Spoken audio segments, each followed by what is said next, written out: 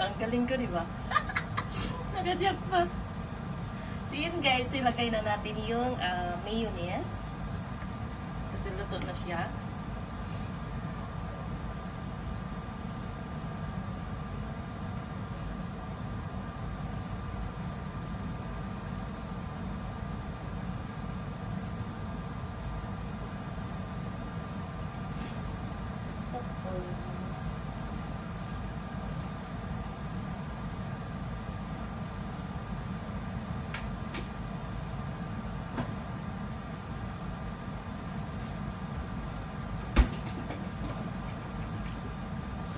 Siya natin ng ganito sa guys, sauce. Bulldog sauce yan.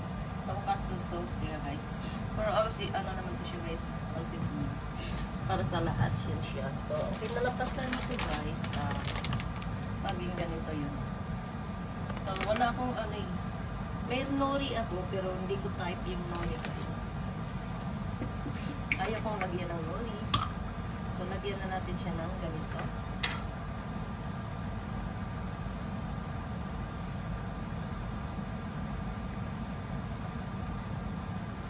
So, yan guys. Kunti lang kasi ah, masyado siyang malasa. Ayaw ko lang. Ayaw ko lang masyadong malasa guys kasi nagsasawa agad ako. Parang ikaw, nagsasawa agad ako. Ay, ay. Ay, At tap- tapos ito yung ah, kinitkit na ano guys, ah, isda to eh. Ewan ko anong klaseng isda pa tawag sa atin. So, ilagay natin siya dyan. Ito ang damihan natin. Kasi ano naman siya, isda naman siya. Kapalasod. Yan. Nagdagan pa natin. Mayroon akong nori, pero hindi ko try din nori. Kasi, na sa ngipin guys, dumitikit sa ngipin. Hindi ko siya try. Naiinis ako kung tingnan. So, yan, dagdagan natin siya. Pero marami pa ganito guys. So, ito guys, luto na to siya. Pwede na to siya kainin. Ayan ang ating okonomiyaki.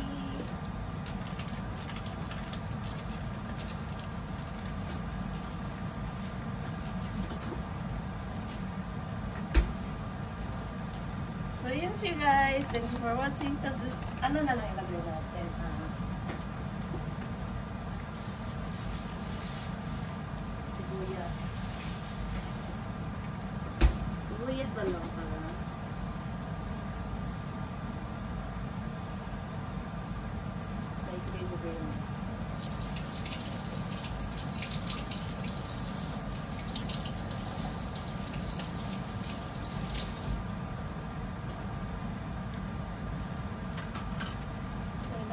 natin. So, pero guys, maganda to siya sa ano, takoyaki. Alam niyo yung takoyaki? Yung may taco, may octopus. Na may, may, ang tawag ito? Ano yung octopus na? Ah, tabugok ba? So, tapos, kaso bilog-bilog na siya. Eh, ito, buo. Binuot siya. So, madali, madali lang gumawa ng okonomiyaki guys or uh, takoyaki. Simple lang. Halo-halo nyo lang yan. Nahulog na. So, yun guys, ang ating vlog for today. Okonomiyaki. Ayan. Thank you for watching.